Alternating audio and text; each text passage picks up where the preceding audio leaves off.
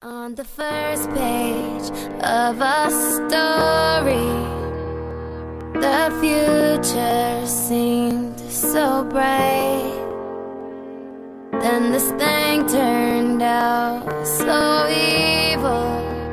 I don't know why I'm still surprised. Even angels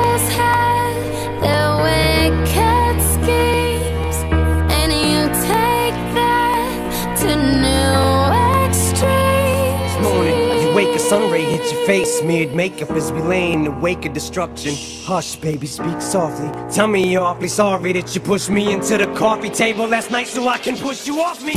Trying